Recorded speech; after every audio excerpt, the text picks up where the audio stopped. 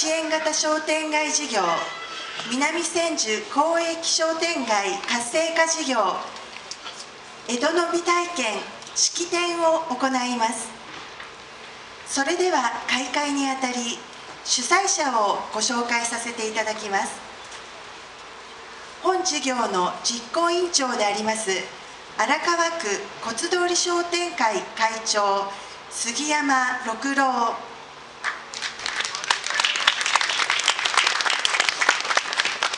本事業の台東区実行委員長であります一応桜開運振興会会長井桁幸雄。それでは主催者を代表いたしまして一応桜開運振興会会長井桁幸雄より皆様にご挨拶申し上げます。井桁会長よろしくお願いいたします。えー、皆さんこんばんは、えー、おかげさまをもちまして本日の日を迎えることができました。ありがとうございます、えー、この事業はですね、え荒川区と台東区と、えなかなか一緒にすることができないんですが今回は一緒になっての事業ということでございます、え南千住骨通りの商店街長もおいでいただいてますけども、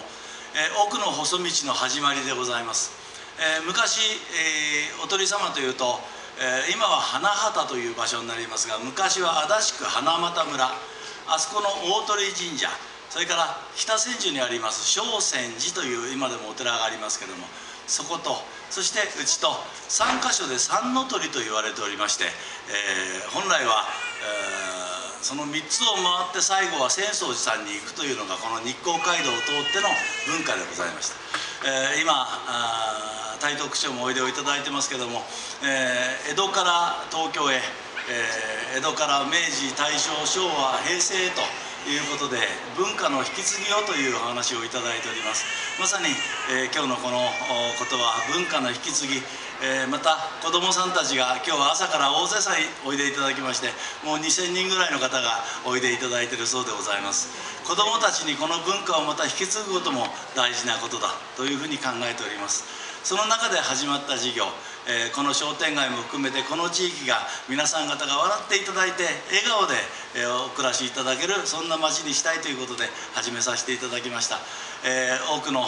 来賓の方々においでいただきましてありがとうございます。寒い中ご覧にいただくのにこうして大勢のお客様にもお集まりいただきました。ありがとうございます。また本日を迎えるために多くのスタッフの方々が、えこの、え何週間にわたってこの今日の日のために動いてくれました、えー、心から御礼を申し上げます、えー、どうぞこれから皆様でお楽しみいただきたいと思います。よろしくお願いいたします。井桁会長ありがとうございました。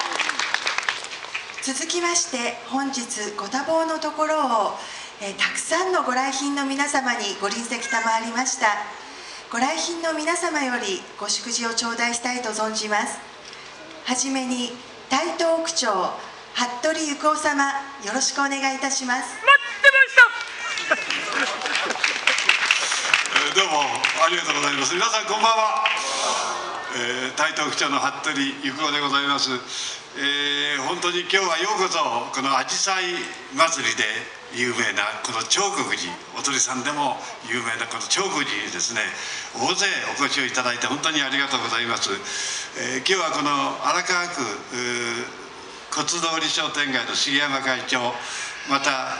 ただいまご挨拶いただきましたが一応桜開運振興会の井桁会長さんはじめですね、えー、両区の8つの商店街が一緒になって、えー、今回の地域の活性化のためにご尽力いただきますことをこれからお礼を申し上げたいと思います。この事業はですね、えーまあ、俳句の町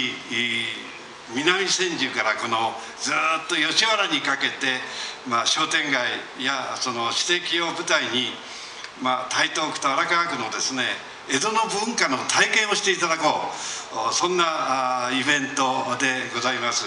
どうぞ今年は明治維新150年、そして江戸から東京へ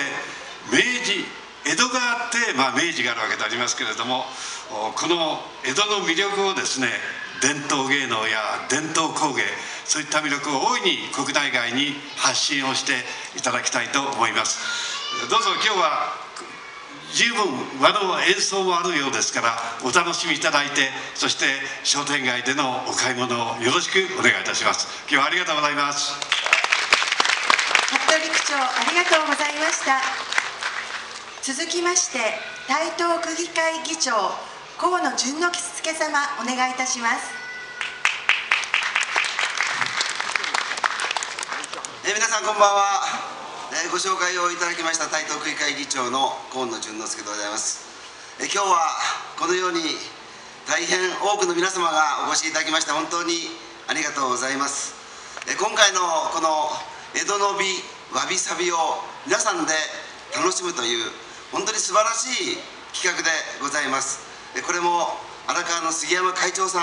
そして台東区の井桁会長さんの共同での企画でございます。皆さん今日はこの彫刻さんに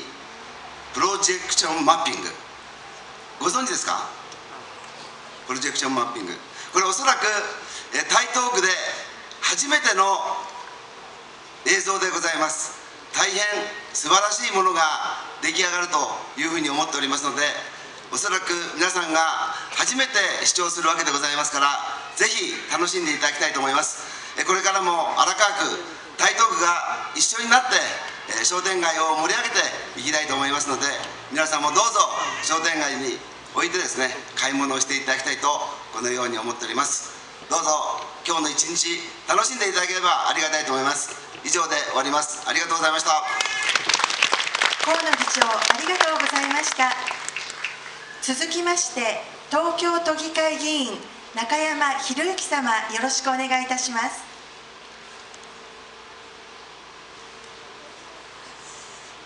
え皆さんこんばんは、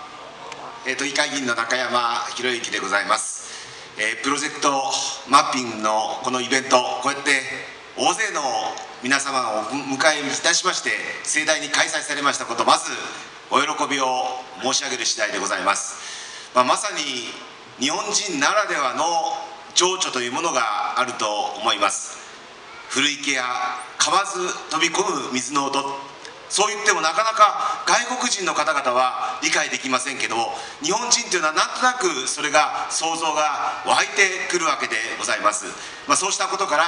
このイベントによりまして本当に日本人の気持ちをくすぐるそんなイベントになるというふうに思っております。どうぞ盛大に開催されますこと心より心よりお近ご記念申し上げましてご挨拶に返させていただきたいと思います。おめでとうございます。中山様ありがとうございました。続きまして東京都東京都議会議員保坂正弘様。